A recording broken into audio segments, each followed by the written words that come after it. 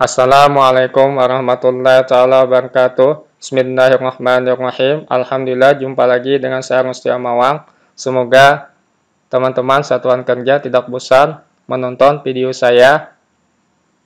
Pada kesempatan kali ini, video yang ingin saya sampaikan kembali mengenai revisi DIPA. Untuk kali ini sangat mengejutkan ada revisi penghematan Kementerian Negara atau lembaga. Untuk suratnya atau dasarnya ini langsung dari Menteri Keuangan Sri Mulyani Indrawati. Ini suratnya. Dasarnya di sini. Penghematan belanja kementerian atau lembaga tahun anggaran 2021. Silahkan baca. Yang dihemat kayaknya ini tentang tukin. Silahkan baca di sini.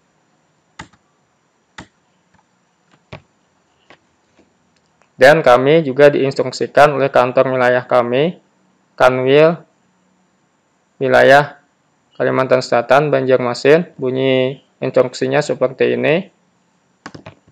Ini instruksinya. Untuk disiapkan surat usulan revisi. Ini nanti kemungkinan formatnya sama, kita tunggu saja dan Kanwil, contoh formatnya. Ini SBTGM juga kemungkinan sama, kita tunggu saja nanti suratnya dari Kanwe atau teman-teman yang lainnya. Pengombi ini dari aplikasi Sakti, Mateng Semula dari aplikasi Sakti, Adika tentunya dari aplikasi Sakti. Ini pengadministrasian saja, tabel lengkap nanti mudah saja. Paling lambat dikumpul hari Kamis besok tanggal 27 Mei 2021 jam 12 waktu Indonesia Barat. Untuk pertanyaan bisa di WA pribadi. Ini instruksi dari Kanwil bagian perencanaan kanwil untuk des pemotongan atau besaran penghematannya. Bagi satuan kerja yang kena penghematan juga diberitahukan di sana jumlah penghematannya atau ada tabelnya. Ini khususnya kami MTSN 1 Hulu Sungai Selatan. Kita cari MTSN 1 kita filter maaf. Ini MTSN 1 Sungai Selatan sebesar 56.199.000 rupiah. Sekarang kita laksanakan di aplikasi Saktinya. Kita masuk aplikasi Sakti atau alamat web Sakti Kementerian Keuangan seperti ini. Tentunya harus ada sinyal internet. Diusahakan tadi diusahakan sinyal internetnya kuat untuk mengakses akses Sakti ini. Ini Tentunya masuk pertama kali level APR. Mohon maaf, level operator anggaran atau OPR. Jika Anda sudah mendaftar user sakti yang baru atau pemuktahiran user sakti terbaru di tahun 2016 ini, di tahun 2021 ini, mohon maaf, ini agak mengantuk, jadi salah, sering salah. Kita masuk OPR dengan peran penganggaran jika sudah menggunakan user baru. Artinya yang digunakan UPR peran penganggaran. Jika masih menggunakan user yang lama, masuk saja dengan user yang lama. UPR, UPR biasa. Intinya UPR masuknya. Jika yang baru tadi penganggaran perannya. Ini saya contohkan, kami sudah menggunakan user yang baru, saya masuk dengan user penganggaran. Seperti biasa, klik masuk saja.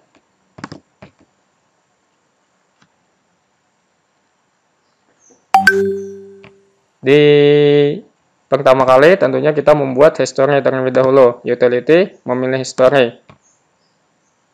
Ini sudah langsung terdefault sebenarnya history awalnya yang terakhir jika tidak diubah ini sudah terdefault jika Anda mengubah seperti ini. Pastikan di sini harus hati-hati untuk history awalnya.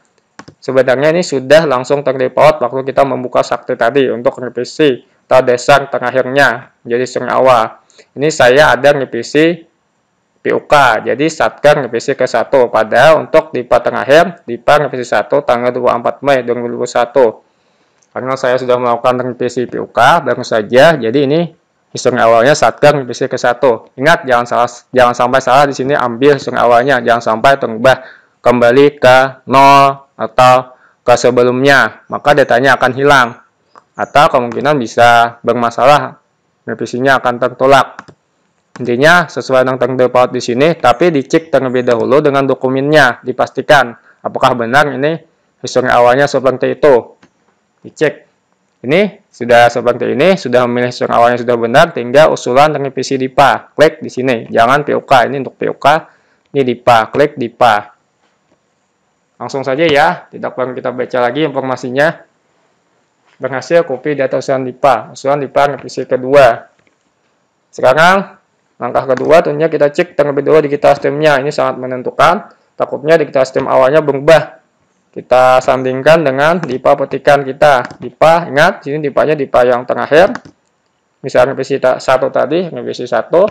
Kita, jika dasarnya di bawah, di bawah, ini 5000 sudah sama ini 5000 7 640 sudah langsung saja kita masuk ke Oh, belanja.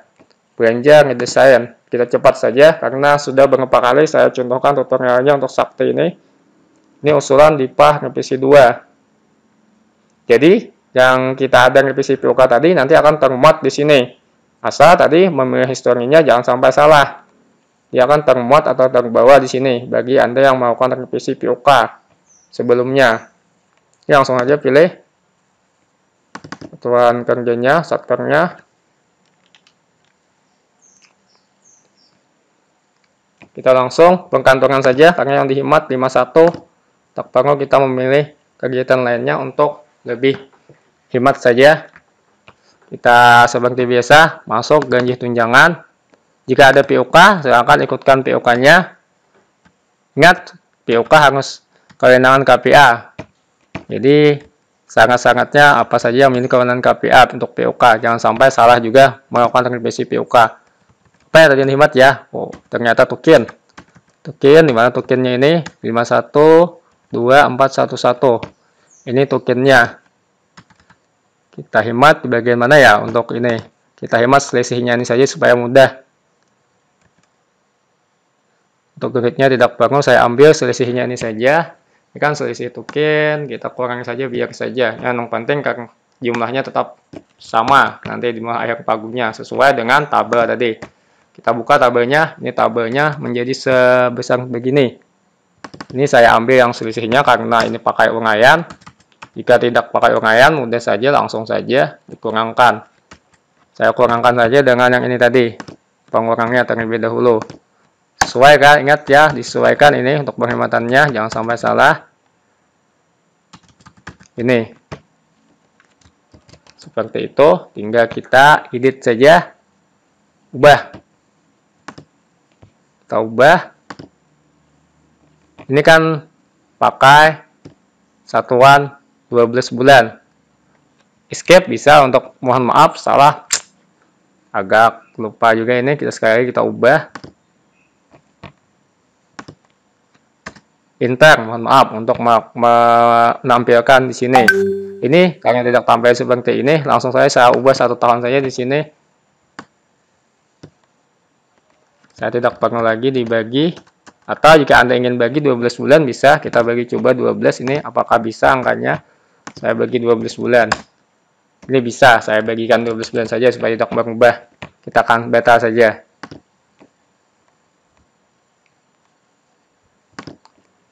intinya tadi untuk melakukan rincian tekan enter seperti itu ini saya langsung masukkan angkanya yang ini tadi karena dibagi 12 bulan, oke, okay, apakah hasilnya sama? 1, 2, 4, 2, 6, 9. Iya, tinggal oke okay saja. Selesai. Ini jumlah totalnya ingat, perlu diperhatikan ini 4, 5, 4, 5, 4, 6, 9, 2. Ini 4, 5, 4, 5, 6, 9, 2. Sekarang tugas, jika tidak ada revisi POK, simpan saja. Simpan.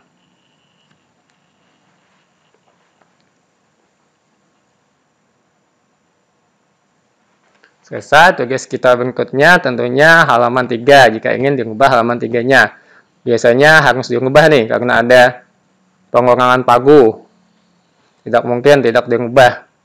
Karena ada pengurangan pagu ini. Masuk ke NPD bulanan. Kita pilih di sini ya, biasa di sini.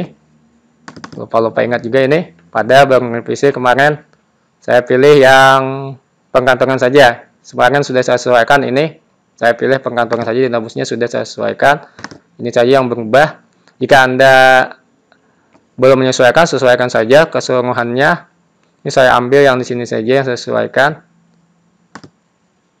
Ini tentunya minus. Untuk melihat atau mengisi data di sini disesuaikan dengan organisasi sampai bulan berkenaan. Ini kan sampai sudah bulan Mei organisasinya buka di Unspan lihat pada video saya sebelumnya. Untuk mudahnya ini saya nolkan terlebih dahulu. Saya ganti bawah ini saja 584 supaya langsung 0. Tidak perlu lagi dihitung karena saya sudah melakukan revisi halaman 3 baru saja tanggal 24 kemarin. Om Sepan untuk melihatnya saya ulang sedikit untuk melihat mengisi halaman 3 ini sebenarnya sudah bisa semua ini untuk satker pengatur lama tentunya sangat hafal di sini cara mengisi ini kita ulang sedikit bagi yang lupa-lupa supaya mereplace ingatannya jika menonton video saya ini saya tutup saja supaya cepat. Biasanya usupan ini juga lambat membukanya jika jaringannya tidak kuat atau sinyal internetnya lemah.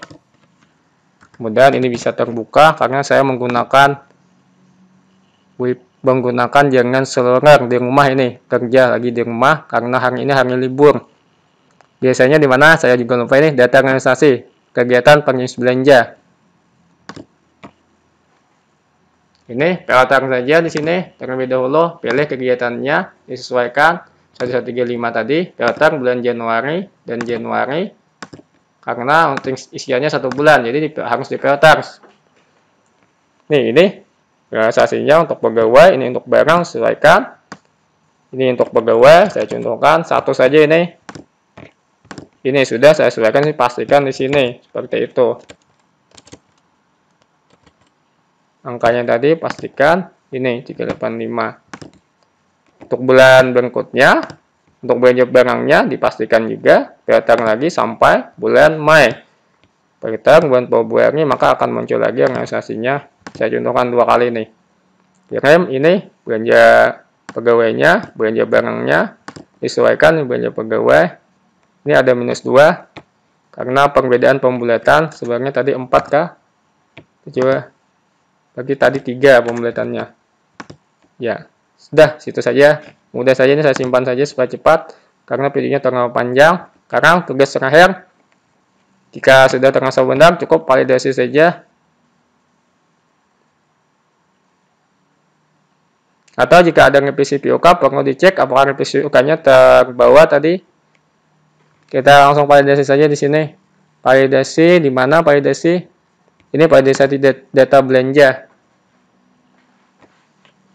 Ambil yang belum valid ini saja atau yang semua di sini bisa saja. Bisa cuma satu satkernya. Saya ambil belum valid ini saja supaya memastikan bahwa ini belum valid. Tinggal klik proses klik di sini, maka akan masuk sudah valid. Nih, Alhamdulillah validasinya berhasil. Tugas berikutnya, mau dicek lagi di kita sistemnya, tentunya berubah. Karena ada pengurangan pagu dan penghematan tadi. Ini berubah dari awal. Jika tidak berubah, Anda pasti salah. Tidak mungkin tidak berubah, karena ini pagunya berubah. Kita keluar, masuk, uh, KPA apa istilahnya APR ya. Ini KPA, sesuaikan saja uploader. Masuk saja di KPA. Punya santai saja sebenarnya revisi ini. Asal tahu teknisnya. Gimana untuk KPA? Cek lagi monitoring kita sistemnya. Supaya memastikan sama sama dengan di pengatur tadi tentunya sama. Sekarang kita masuk ke bar. Di mana di sini di sini bar. Ini ambil data usulan terakhir LIPA. Ini POK, kemarin saya juga ada POK sebagai pembelajaran kurang tanggal 25 Mei. Jika tidak salah saya ini ini saya masukkan di data usulan di sini saja saya ikutkan di GI ini penghematan. Sini, ownernya jangan diubah terlebih dahulu. Sebelum ada instruksi, jangan diubah menjadi canwheel sebelum ada instruksi. Cukup di satkernya terlebih dahulu. Pilih centang ini. Simpan. Seperti itu. Kalau dipilih wilayah nanti tidak bisa lagi diubah. Takutnya ada yang salah atau berubah lagi ini. Penghematannya cukup satker terlebih dahulu, simpan. Ingat, ownernya tetap satker dulu sebelum ada instruksi selanjutnya. Klik simpan seperti ini. Selesai tugas kita. Jika ingin membetakan di KP ini mudah saja sebelum di upload ini tinggal bisa dibetakan seperti ini. Beta bisa lagi diubah. Belanjanya ini saya simpan lagi. Yang diperlukan tadi apa datanya? Kita coba lihat di sini. Adika diserahkan untuk Adika ini biasanya bisa di sini adikanya Adika kespan ini. Untuk Adika kespan ini tentunya harus ada tadi upload dari wilayah. Artinya kita harus mengubah statusnya menjadi wilayah dan di dari wilayah ini akan terbentuk tadi akan muncul di sini adikannya. Ini tentunya tidak muncul karena belum saya ubah menjadi wilayah dan belum diapungkan wilayah. Untuk adika kesas ada ini. Biasanya untuk kesas untuk revisi satu kemarin ini satker ini kesas. Biasanya adikannya di span ini. Intinya kita tunggu instruksi berikutnya. Takutnya ini ada berubah lagi jadi saya tidak perlu ubah terlebih dahulu outnernya ini menjadi wilayah. Takutnya berubah nanti akan menurunkan statusnya lagi Intinya seperti itu saja teknis cara teknisnya saja. Yang perlu perhatikan tadi kita coba matriknya, kita cek di utility biasanya ya. Matrik mohon maaf dia laporan cetak. Kita coba cek matriknya apakah benar semula menjadinya. Karena ini biasanya dikumpul matrik semula menjadi dan pengumbi. Ini matrik semula menjadi terlebih dahulu saya contohkan di sini nah akan dikumpul. Ini pilih satkernya Ini pengubahannya terbaca pastinya harus sama dengan yang di polo di tabel dari kanwil. Tuh 59 ini cetak saja ambil pengubahan seperti ini saja. Mau dicetak atau seorang data terserah yang dikumpul yang mana? Nanti ini format 1 format 2 terserah saya contohkan format 1 saja diunduh. Kalau dikumpul ketiganya ya di ketiganya. Kalau satu satu saja. Biasanya kalau revisi format 1 dan format 2 biasanya Entah ini apakah ketiganya atau dari seorang data. Ini kita coba buka mateknya saja. Sebagai memastikan saja apakah reaksi kita ini dikatakan benar. Ini di bawahnya, di isnya. Kita buka lagi. Sama tentunya. Ini di is menjadinya tidak ada masalah. Yang penting berubah. Jika tidak berubah, kemungkinan Anda salah. Itu biasanya revisi POK atau halaman 3 DIPA, pagu tetap. Sekarang untuk NK, NK Satker B ini ini pilih saja, cetak saja seperti biasa. Pilih pejabatnya di sini. Eh, mohon maaf, ada yang lupa satkernya lagi. Terkadang lupa juga milih satker, mau cepat-cepat ini. Jadi unduh saja seperti ini. Jika yang diminta A, A, jika yang minta B, B ini yang B. Cukup setengah jam, jika jaringannya lancar, sudah selesai pengerjaan ini kurang lebih begitulah. Ini B. Ya intinya itu saja. Tapi yang perlu diperhatikan tadi historinya untuk menjadi penekanan di sini history ini hati-hati memilih history. Biasanya aplikasi sakti langsung terbuka history terakhir waktu kita membuka. Biasanya itu benar itu biasanya itu benar untuk history awalnya jika tidak anda ubah seperti ini. Tapi dicek lagi dengan dokumennya. Dokumen petikan dipanya atau POK kita supaya nanti takutnya tidak mengakibatkan paguminus atau yang lainnya tertolak atau apa. Kesalahannya seperti itu biasanya. Ini saja yang dapat saya sampaikan. Mohon maaf jika ada kesalahan kekurangan kejanggalan. Akhir kata bila taufik wa assalamualaikum warahmatullahi wabarakatuh